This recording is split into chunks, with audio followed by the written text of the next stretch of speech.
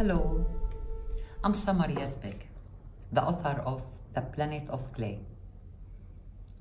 My novel is about a young Syrian girl, Rima, living in the poor suburbs of Damascus during one of the chemical attacks in 2013.